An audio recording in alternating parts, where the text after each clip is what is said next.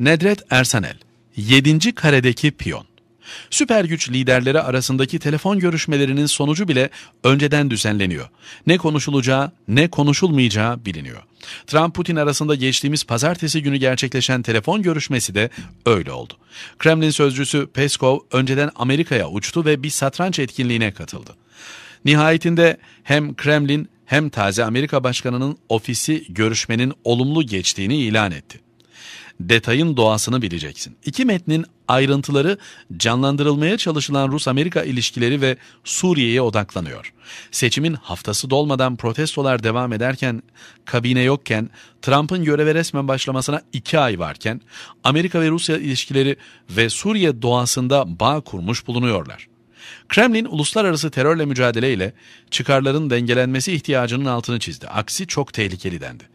Seçilmiş başkansa Rusya ile güçlü uzun süreli bir ilişki kurmayı dört gözle beklediğini belirtti. Böylece Trump'ın pek az bilinen, kimilerine göre varlığı bile şüpheli dış politika vektörlerinden biri görünür hale geldi İlişkileri normalleştirmek ve en geniş yelpazede yapıcı işbirliği sürdürmeye yönelik aktif ortak çabalara destek olacağız. Ticareti geliştirerek ilişkiler için güvenilir bir temel oluşturmak önemlidir. O ilişkiler içinde stratejik ekonomik meseleler var. Enerji buna dahil ve Türkiye ile çevresinin yeni döneme hızlı geçiş yapacağını söyleyebiliriz. Enerji dengeleri ve Rusya'ya ekonomik yaptırımlar ilişkisinin düzenlenmesi ise ikinci dalgalanmalar yaratacaktır. Trump aynı gün Çin'le görüştü.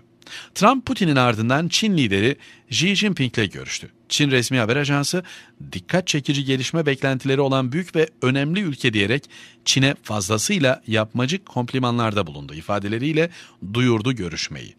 Trump görüşmede şu ifadeleri de kullandı. Çin-Amerika ilişkileri başkanlığım döneminde çok daha büyük gelişmelere tanık olacak. Hillary Clinton seçilseydi Asya Pasifik'te neler yaşanacağına ilişkin neredeyse kesinleşmiş beklentiler böylece akamete uğramış sayılabilir mi? Bunu söylemek için erken ama bir gün içinde kurulan devasa üçgen Trump'ın yeniden büyük Amerika sloganıyla uyumlu. Gölgelerin gücü ve ilk çelme. Dünyanın üç süper gücünü aynı gün telefona bağlayan Trump tipi agresif diplomasi daha seçim sonuçlarının şokunu atlatamamış, müesses nizamın tehlikeli hareketler yapmaya teşvik eder mi? Üç lider konuştuğu an hali hazırda Beyaz Saray'ın patronu olan Obama tarihi oldu.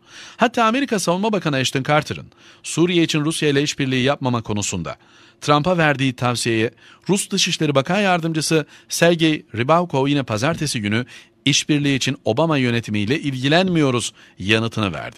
Peki Obama yönetimi ne yaptı? Rusya'ya karşı uygulanan yaptırımların uzatılmasına çalışacağını ilan etti. Bunu duyurmak için de pazartesi gününü seçti.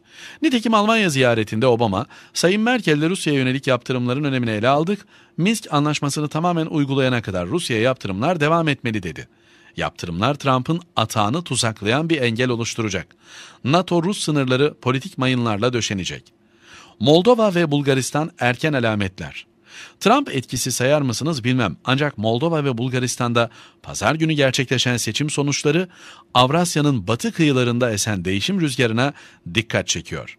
Her iki ülkede Rusya yanlısı adaylar kazandı. Her iki ülkede seçim tartışmaları AB mi Rusya mı sorusuna odaklandı. Batı ve AB'nin yerli siyasetçilerine her iki ülkede de güvenilmiyor. Cevap apaçık Rusya olmadı ama kesinlikle AB değil oldu. Bulgaristan'ın yeni Cumhurbaşkanı Rumen Radev, AB Rusya'ya yaptırımlara son vermeli.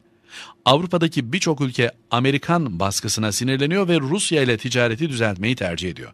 Yani Obama yönetimi Rusya'ya karşı yaptırımların uzatılması için AB'ye baskı yaparken bu konuda AB mutabakatı bozulabilir. Londra, AB liderleri Trump hakkında sızlanmayı kesin. Birleşik Krallığın Rusya'ya yönelik duygularını bilmeyen olamaz. Ancak Trump etkisinin majestelerinin başkentine değin şimdiden nüfuz ettiğini görmek ilginç. İşçi Partisi lideri Jeremy Corbyn, şu an NATO devletleri ve Rusya arasındaki sınırı silahsızlandırmaya çalışacağımız bir süreç olmalı, yeni bir soğuk savaşın içine düşemeyiz. Daha da ilgincini duymak ister misiniz? Rusya'nın da dahil olduğu Avrupa Güvenlik ve İşbirliği Teşkilatı NATO'nun yerini alabilir. Son iki örnek. Çek Başbakanı Bohuslav Sobotka, Çek topraklarında bir radar Rusya ile ilişkilerde daha fazla gerginlik anlamına gelir. Donald Trump'ın seçilmesinden sonra Amerika ve Rusya'nın uzlaşması fırsatını iyi değerlendirmeliyiz. İngiltere Dışişleri Bakanı Boris Johnson, AB liderleri Trump konusunda sızlanmayı kessin. Peki Türkiye? Kendisine piyon muamelesi yapanlarla şimdi hesaplaşmayacak mı? Hayır. Çünkü ilerlemesi gereken tek kare kaldı. Nedet Ersenel, Yeni Şafak